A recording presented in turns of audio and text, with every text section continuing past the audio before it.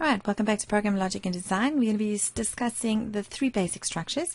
Remember, we don't want our code to be all tangled up. We don't want flow lines crossing each other. That is where spaghetti comes in mind. So we don't want spaghetti code. So we want structured programming.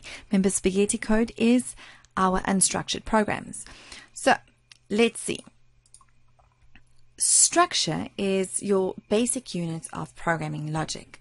You get three types. You get your sequence structure, which performs actions in order. Dum, dum, dum, straight underneath each other. There's no branching or skipping any tasks. Then you get your selection structures, which is your decision structures. Remember your decision symbols, which is your diamond shape. And you ask a question, and then you're going to take one of two actions, a yes or a no. You get your dual alternative ifs, or your single alternative ifs, which we're going to be discussing later on. Then you get your loop structure. You repeat actions while a condition remains true. So we'll discuss the loop structure in momentarily now as well. Now, the mathematicians in the mid 1960s proved that any program, no matter how complicated, can be constructed using one of more of these three types of structures our sequence, our selection, and our loop. Now, these three structures alone you can diagram any task from doubling a number to performing a brain surgery just from these three. So I'm going to explain the sequences in the next slide. This is your sequence structure. It's dum, dum, dum, right on top of each other. You'll see we're stacking a box on top of the box on top of the box. So sequence structures performs actions in order See, there's no branching and no skipping. It's just dum dum dum dum. And they continue step by step until the sequence ends, like driving directions. You go down this road, then you turn right, then you turn left, then you turn right again. And on your left hand side, if you look, there is the house. It's number so and so. All right. So I've added this sequence structure to your template in your PowerPoint for you to use later on. Then we get our dual alternative ifs. These are our selections. Now, our dual alternative ifs contain two alternatives. So either one, yes, or either no. Dual alternative ifs or selections is our if then else structure.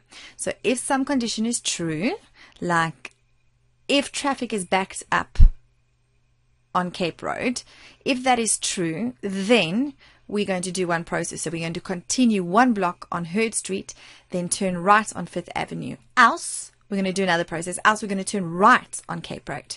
And then whenever we open an if, we always close the if. Okay, so this is our if then else structure. This is how our dual alternative if then else structure looks like. We have if yes, we do this. If no, we do this. If yes, we're going to turn down Cape Road and turn left into Hurd Street. If it's not too much backed up, then we're going to turn right if it's not backed up on Cape Road. Okay, so those are our two alternatives. So with a selection structure, which is our diamond shape, you've got to ask a question and take one of two actions. So that's our dual alternatives. So a flow chart that describes a selection structure must begin with a decision symbol and the branches, which is these flow lines, the branches of decision join at the bottom of the structure. So our flow lines join at the bottom. Remember, it's got to happen in sequence. So this is one structure. So think of this selection structure. We're popping in this big old box, and that's going to happen first. And then it's going to move on to our next box, which might have a loop in or another sequence. So our selection structures must ask a question that can be answered only with a yes or a no. So they both have an alternative to them to do. Our single alternative ifs, it looks like this. You've got yes, and you will just have one alternative to do. This would be like if employee belongs to a dental plan, then deduct $40 from employee gross pay. An else clause is not required because there's only going to be one alternative, one thing that needs to happen. So your pseudocode will be if it is raining, then take an umbrella. End if. Done. That's it.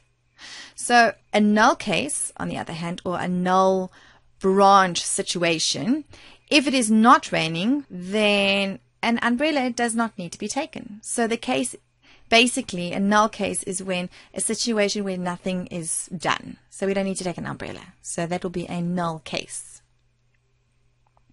So a flowchart that describes a selection structure with a single alternative must begin with a decision symbol, like a dual alternative, and the branches of decision join at the bottom of the structure. So the selection structure must ask a question that can be answered only with a yes or a no. No will basically just take you carry you'll just carry on with the program. So that nothing will have actually really happen but if it's yes if that question which is in our decision here is answered yes then you're going to have to do something. Because it says we're going to have to process something. Something needs to be done. So that will be our single alternative. Our loop structure. Our third basic structure is a loop Loop structure is repeats a set of actions while a condition remains true. You've seen that sometimes we need to repeat something to happen, make it happen over and over and over and over and over again. So instead of having 10 million lines of code, repeating the same lines over and over and over and over again, we put it in a loop body. Now the loop body, the action or actions that occur within the loop is going to go here in our loop body. Now the loop structures provide the ability to perform repetitive processing on a very large scale. Looping is often referred to as repetition or iteration. So if you get that in your test or exam, what is a loop structure? It's repetition or iteration. Pseudocode uses while, do, or while loop. All right, we'll chat shortly about these two loops later. But a condition is tested first in the most common form of the loop, which is our while loop. So for our loop structure here, we will enter our loop our decision. This will be our condition, which is first tested. This is our condition here, which needs to be tested.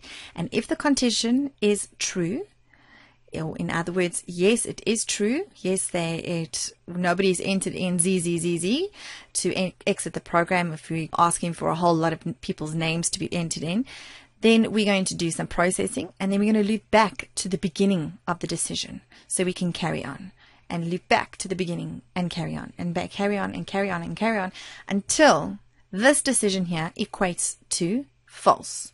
So it will be no as the answer. And then we carry on with the program. So this is in another set of boxes. Now, the reason why I'm saying sets of boxes is I want you to think everything in a box because we're going to stack them just now. Always begin the decision symbol that has the branches that returned to the prior spot to the decision. So always to the prior spot. Very important. You execute the loop body over and over again while the condition is still true, only executing the loop when the decision is false. So we have our while test condition continues to be true, then do some process. So you start with a while and you end with an end structure statement end while. So while you continue to be hungry, take another bite of food, determine if you're still hungry, end while while test condition continues to be true, we're going to be doing something. As I said before, is that we need to stack things. So all logic problems can be solved using only sequence, selection, and loop in an, an infinite number of ways. So that's where we get to our stacking structure. We attach structures end to end. We put a box down and we put another box on top. We Eh, we stack stack, stack, stack, or stack to the side, etc. So it's very important that structures may only be stacked end to end. Sometimes students commonly make the mistake of interweaving structures instead of actually stacking them.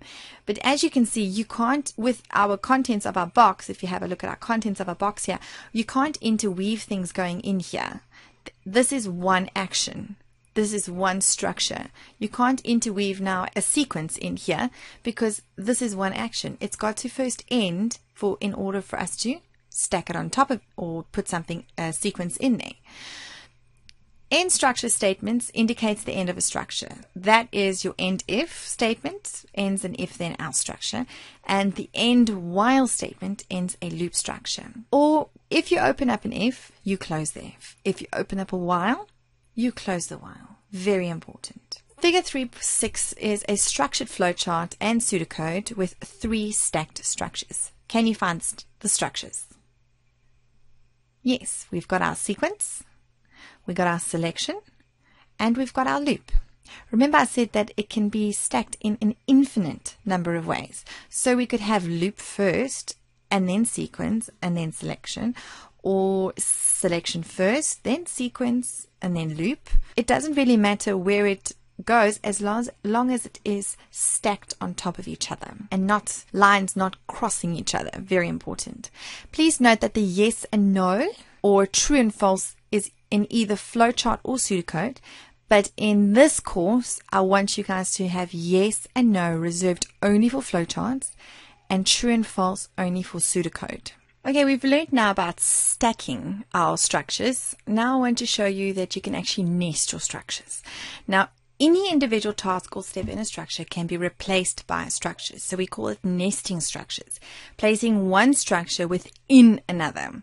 So we indent the nested structure statements. And then we get a block, which is a group of statements that execute as a single unit. So some languages have block delineation symbols. For example, Java and C++ use curly braces to identify blocks. Here's an example of a nested structure. So we've got our condition here, our decision structure, and within our decision structure, we have a sequence. So we're nesting our sequence within our selection. So step J, K, and L constitute as a block, which is a group of statements that execute as one single unit. Now with regard to the end structure statements, how do these statements help to outline a block of code that involves a structure? All we need to basically do is place J, K, and L. You are nesting the structures. In other words, you are indenting pseudocode. So as you can see, if condition H is true, then we indent our pseudocode, step J, step K, step L, all in our if statement. Here's another example is that any sequence or selection loop can be contained in other sequences, selections, and loops. So as you can see here, we've got our step J, which is our sequence. And from our sequence, we go into a loop which is in a while loop. And from our while loop, we go back into the rest of our sequence. So we would have had like a sequence here. We've just replaced this sequence in the middle here. We've replaced it with a loop now. So step N is now within a loop there. This is our single selection decision because we either have no or yes. Now notice if and end if are vertically aligned. So they're on the same level. Can you notice any other alignments? Yeah, step J and step L are aligned and while and end while are aligned. So they're all vertically aligned. So structures nested cannot overlap. Example, end while comes before end if. So it's nested within there. So end while is with, within the if structure. Here's another example with for a selection within a loop, within a sequence, within a selection. So we have a decision, we have a sequence, and within the sequence is a loop, the decision within the loop. There is no limit to the number of levels you can create when you nest and stack structures. If you have a look at step N here, step N has been replaced with a selection to make the logic more complicated, structures that performs step P and step Q based on the outcome of the condition. And this is basically a nested within the loop controlled by condition M. So please note this is a generic structure for generic conditions like condition M, which can stand for anything we will apply to this to real life programs. The summary is on page 94. It's very important to know as well as figure 3.11. You've got your sequences, your selection, and your loop. Structured programs have the following characteristics. Include only combinations of three basic structures, which we've discussed as your sequences, your selections, and your loop. You each structure has a single entry point and a single exit point. Single entry, single exit. Single entry, single exit, single entry, single exit. And the exit handles is where you can physically pick up any of these three structures or replace this section here with a structure or replace this section here with a structure or this section here with a structure, etc. These are all spots you can actually connect one structure to another. So the entry and exit is where you can connect one structure to another. Structures can be stacked or connected to one another only at their entry and exit points, as we've discussed, and any structure can be nested within another structure. Please join me in the next video in which I'll be discussing priming input to structure a program.